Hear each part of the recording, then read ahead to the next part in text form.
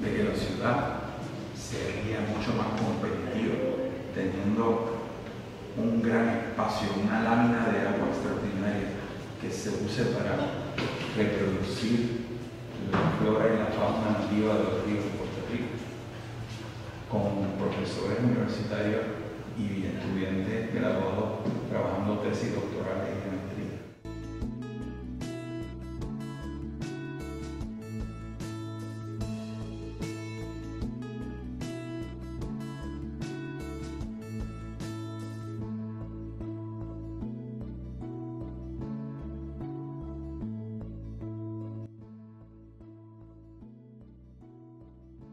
Aquella cosa que está allí, de ahí se bombeaba el agua para el barrio Venezuela, que hay dos estanques espectaculares, tan espectaculares como el morro, te lo estoy diciendo. La gente tiene que poder conocer de dónde viene el agua que se toma y de dónde va. Esa era la primera pregunta en mi- mis clases de planificación. Esa era mi primera pregunta el primer día. Permiso, ¿ustedes saben de dónde, de dónde viene el agua que tomamos aquí?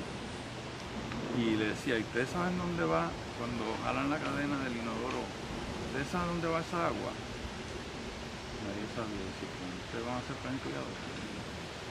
Si ustedes, o sea, la infraestructura de agua es una de las cosas básicas para hacer una ciudad.